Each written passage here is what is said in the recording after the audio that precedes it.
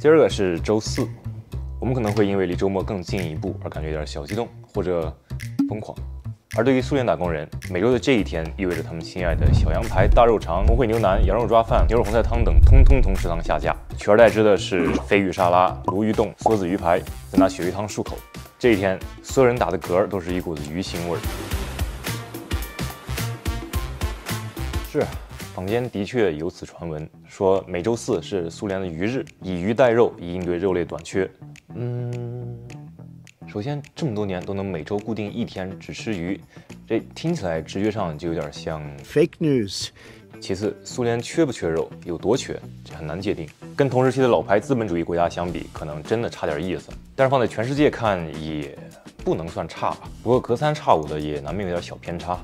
比方说，穗宗搞吃肉大跃进，为了个指标，一下子把牲畜全屠宰光，第二年没得宰了。他下台前夕，肉类的供求矛盾那叫一个十分突出。再就是小偏差最大的那一次呢，啊，你们家也能猜得到。你看，二八二九年还是三十五千克的肉类人均产量，三十年代开始几乎对半砍，什么原因？哎，没错，这就是初中历史。正确答案选 C 啊，送分题，送分题。那这些数据呢，当然也不是出题人凭空杜撰的，我找到了相应的资料，确实如此，甚至一度比不上一九一三年的沙俄，你敢信？那么三二年，有个同志灵机一动，就想出了鱼日的点子。这个同志正是咱们的老熟人，上期视频的主角阿纳斯塔斯·米高扬。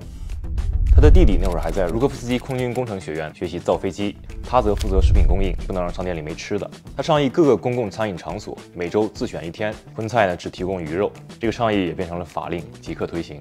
很多苏联人看到食堂门口贴的告示，他们的反应是这样的。Ты говоришь про то, что к алкоголю. I like vodka, and vodka like me. Нет, нет, нет, нет. Ты говоришь про то, что перед едой для аппетита. Ты не можешь надеяться, что мы будем строить социализм, едя эту ерунду. 可是反对的声浪再强，奈何老大赞同呀。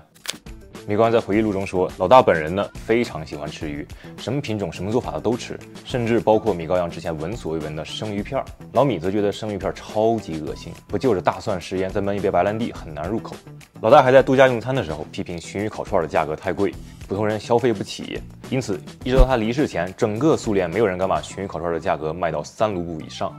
在老大的默许下，鱼日稍微执行了那么几年，然后随着肉蛋奶的供给逐渐恢复，强制吃鱼变得没有那么必要。尤其后面爆发二战，更没有人去费劲儿去鼓吹吃鱼的好处了。哎，有啥吃啥呗。但时间来到一九七六年。Каждый четверг в советских столовых был рыбным днем. Во многих заведениях общественного питания в этот день мясных блюд в меню не было. 尘封了四十多年的鱼日突然就卷土重来，这回他直指每周周四。 哎，按说到了那会儿，苏联算鼎盛时期了，奶酪的产量比十年前翻了一番，肉类的人均消费量快赶上了英国。嗯，唯一的瑕疵是这个量比起去年呢有所下跌，这个跟前一年粮食欠收导致饲料短缺有一定关系。另外，据说苏联甲状腺疾病大范围复发，海鱼呢可以给他们补充碘。鱼日的回归或多或少有健康方面的考量，但最最主要是现在咱苏联的鱼实在是太多了，不吃怎么办呢？话说，第一次鱼日被搁置后，渔业发展的步伐不但没有停滞，反而开足马力前进。渔获总产量，一九三零年仅为一百二十八万吨，到七六年已经突破一千万吨。通过冷藏、冷冻、灌装、腌制、鱼米等专门生产线的加工，市面上的鱼类产品越来越丰富。食堂厨师不停地学新菜谱，家庭主妇们从米高扬主持出版的书里学习宰鱼和烹鱼，然后时不时商店里就又出现了一种他们没见过的鱼。随便举几个例子。南极冰鱼无鳞无小刺，切面雪白，肉质弹牙，随便一烤都外脆里嫩。玻璃梭炉皮和肉都好吃，满是胶质。书里说做鱼冻，它绝对是首选。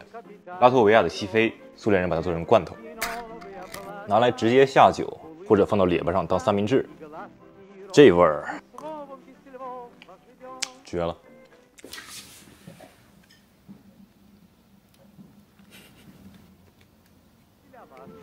他们还把做这种鱼罐头产生的残渣废料磨成浆糊，美其名曰西非酱，感觉好像不是很下饭的样子。更狡诈天的是精肉香肠，就是字面意思，用金鱼肉做的香肠。不过这都不足为奇，时不时整点奇奇怪怪的小发明，也算苏联的传统异能了。咱就光说坦克，都有能吹风的，好几个头的，混凝土的，顶桶加油的，还有这种带滑翔翼的，是真的造了出来，并经过了好几轮测试，最后被老大叫停。当然，这些都不如这颗呃这辆球形坦克，它真的像我们诠释的理想有多远，坦克就能有多远。话又说回来，金肉香肠可能只是昙花一现，但这次的鱼日可没有待两天就走的意思。之后的十几年里，每逢周四，不管是工作单位还是学校食堂，都只能想着法儿把鱼做出花来，不然就得吃投诉。可是为什么选周四呢？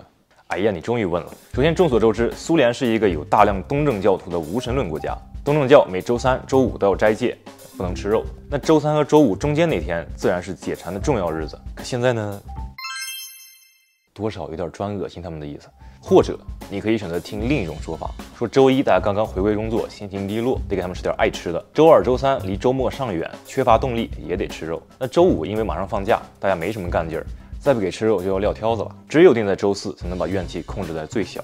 这两种主流解释信哪个您自个儿挑吧。重点是，周四是鱼日这件事儿已经在全苏蔓延开来，还成了很多苏联笑话的题材。有一条是这么说的：周四你去大保健都是美人鱼为你服务。有不少人呢怀念鱼日，那个时候鱼肉永远比其他肉便宜。更多的人则留下了心理阴影，因为他们没有幸运的生活在莫斯科，花里胡哨的鱼种和菜肴他们见都没见过。他们那儿的食堂在鱼日可能只有鲱鱼沙拉、鲱鱼汤和油煎鲱鱼一条龙。每到周四，很多人宁愿从家里带点香肠，凑合垫吧垫吧，等待周五的曙光。